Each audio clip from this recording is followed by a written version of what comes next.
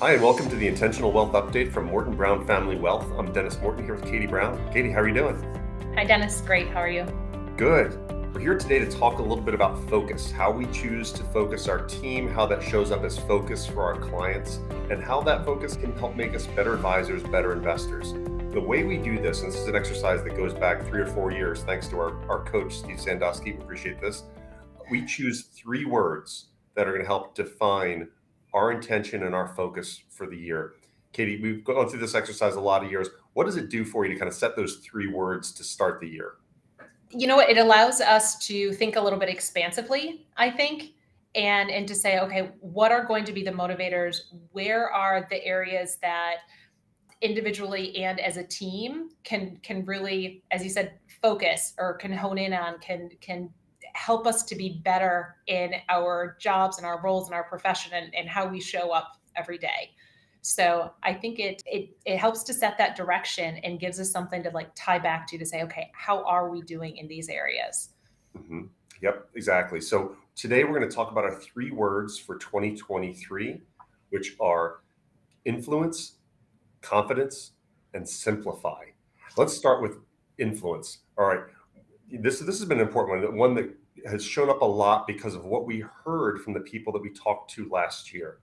We didn't hear a lot of optimism last year. There was a lot of pessimism, you know, worrying, are we in a recession? Are we not? Is this a bear market? What do I do? There was a lot of confusion. It seemed like one darn thing after another in 2022, which had us thinking about how can we be better influencers? Why does this word resonate with you? Yeah. Well, just naturally in our role, in our position, you know, through our conversations with clients, we are influencing how they're feeling about things, how they're thinking about things. We're influencing their behavior. And it's important to recognize that for both the, the good and the bad, potentially, to recognize it's an incredible opportunity to help bring forward some information, some context to help influence how they're thinking about things. But it's also, it's a little bit of a weight and a responsibility mm-hmm. uh, because it, it could go in a number of different directions. I think it's really important to think about because I'm not sure that all advisors necessarily take the time to recognize that the words coming out of my mouth are going to influence how this person feels throughout the day. And so we just want to be cognizant of that and how we're showing up. Yeah. yeah. Here's here's one way I've practiced that influence so far this year. It's pretty common at this time of year. We've turned over a new leaf into 2023 someone might ask, what do you think is going to happen this year? What's the market going to do this year? And I have a choice. I can either take the bait and say, I think the S&P is going to end up here. I think interest rates are going to end up there. But that would do two things. One, it would influence the person to think that I know what I'm talking about, that I know what's going to happen, which is not true. I have no idea where the market's going to end up. Nobody knew last year. No one knows this year. Or I can choose to say, I don't know. Stop the conversation there and use that power of influence to talk about the proactive things, the optimistic things. we heard, you know, we want to turn that pessimism on its head because there's a lot of things you can do. There are a lot of things that could be good in the future and will be good in the future. But we, but if we get bogged down in predictions, we're going to find ourselves wrong more than we are right, and it doesn't move the needle. It doesn't get us where we need to be. So let's use that superpower we have to influence people to be optimistic, to be proactive, to engage, and then we, we kind of put predictions where they belong, which is on the trash heap, which is where they always end up at the end of the year, is on the trash heap, right? yeah, the predictions almost become more of a game. You know, if you if you can treat that almost like the the fun little gambling on the side, but like you said, really influence where it matters and influence yeah. where our clients and our team are focusing, then I think that's that's the more productive use of that. Yeah, yeah, very true. So our second word is confidence. And here, here's the irony about confidence. We we believe that confidence is really the desired outcome from any financial plan. When you're engaging with an advisor, you're not trying to get to X dollars, you're not trying to make X income, you're trying to be confident in your plan and the process. So, trying to try and instill that confidence, ours starts from a very interesting place. We don't know all the things, right? Like uh, we, we are confident that we don't know everything, but we can work to build confidence over time. Where do you think that confidence comes from, Katie? How can we instill that? Yeah, a lot through planning work and a lot through conversations, getting to know clients and understanding them and allowing them to get to know us too. And recognize where each other's maybe concerns pop up or the, the triggers mm-hmm. occur. So I think a lot of it is through building trusted relationships. And then, like you said, acknowledging we don't know all the things. And there's a whole heck of a lot of things out there that we can't control. So we need to plan around the uncontrollables and embrace that a thorough plan is going to is going to be a constant change and that's okay constant change is good our confidence is really grounded in knowing that we can plan thoroughly we can work through that change we can accept and embrace that change right. and and we know we talk about this often where our levers are so yes. if we need to adjust we can adjust and it's it's doing the work to build that confidence yeah, and, and, we're kind of fighting against the tide here a little bit because there's a lot of information all the time. There's, if you want it, there's financial information everywhere, every day, all the time. But mm-hmm. that information can be tempting because it can say, "Hey, maybe I need to be doing something different, or maybe my plan is wrong," or it just it plants those seeds of doubt. So that's why having confidence as a word for the year is a reminder that listen, we need to work hard against that because the natural order is to kind of poke holes in that confidence all the mm-hmm. time. We, we even talked we had a long conversation about this earlier today. It was really kind of fun planning for it and it's why we really get engaged with these words. They help to focus our attention but we also talked about our careers. You know we, we've both been advisors for the better part of 20 years but if you kind of put a point in our starting spot and then where we are today our advisory journey has been like this. It's been different job titles different focuses different firms you know all, all business structures everything else all to end up being an advisor.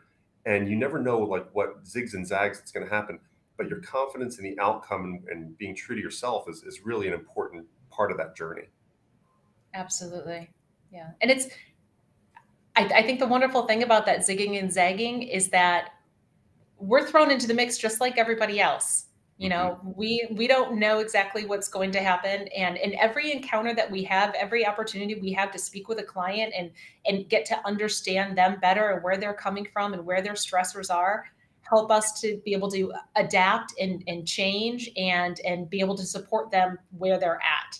And yeah. so that that whole 20 year process so much of it is building the experience so we can show up confidently and help instill that confidence in others yes very true and this last one, we, we we riffed on this one for a long time. The last word is simplify. Simplify. This is great because there's a great, you know, apocryphal line. I don't know if it was Mark Twain or Jerome Powell who said this, but um, that whole line. I would have written a shorter letter, but I didn't have time because simplicity takes work.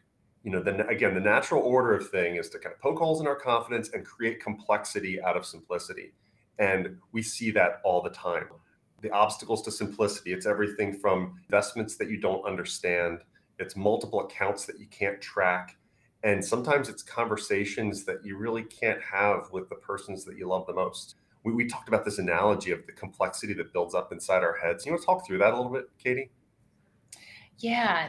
And, and I share that sometimes personally with myself, if I feel like anxiety building, sometimes I just have to take a step back, take a deep breath, and say, okay, what are the one or two th- things that are have been sitting in the back of my mind that are nagging me that I need to address or I need to take care of? And if I can knock those things out, then all of a sudden it's like, oh, yes. okay. And so it's it's batting away some of those complexities to clear that path forward. We, um, we see that in the planning process when people say, "Oh my gosh," they come in and they feel overwhelmed. They might feel like you know the wheels are falling off a little bit financially. We're trying to put this all back together just the, the act of talking about it, you can feel the weight being relieved. And, and it's a simplification. It's taking all those things that were stacked up on the shelves of our mind and just unloading them and saying, all right, where do we start? What's that next step? And coming back to our, our coaching relationship, our, our coaches talked about the difference between kind of running races and running on a trail. You know, if you're running a race, you're trying to compete against a clock, best times, and you're competing against other people. But when you're on a trail, it's like one foot in front of the other. It's a very simple, you can't get too far ahead or you're going to trip and fall. It's a meandering path. So the simplification is really coming back to one step at a time and not getting overwhelmed with the hundreds of steps that it's going to take to get from here to there. Yeah. And I like the distinction between simplification, simplify, and easy, because mm, wow. to be simple is not necessarily to be easy. And, and the irony is sometimes the easy path builds in complexity. Oftentimes we'll, we'll find ourselves moving down a path and we say, okay, I need to fix something. So we bolt on the next thing or we bolt on the next thing. Yes. And then you look up and you have a sea of complexity. Whereas maybe what should be done is to try to clear the path, think about things through a clear, you know, set of eyes and say, okay, now how can I simplify this process? So I, Yes. I, I think that's a really important distinction because there's a lot of work into simplifying the situation.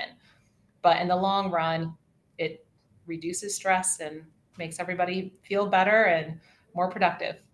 Yep. All right, so those are our three words for 2023. We have influence, confidence, and simplify. And as you can see, you know, it's a way for us to stop and think about what we're doing. We bring them up in team meetings, we talk about them, and it kind of everyone snaps back to it and say, okay, that, that's what we're trying to do here. And it really is embraced by the team. Think about your family, think about your spousal, your couple relationship, and what are the things that you want to talk about this year to bring you back to that focus that's going to help you to be more successful in 2023. So we look forward to seeing you again soon and have a great rest of the week. Take care.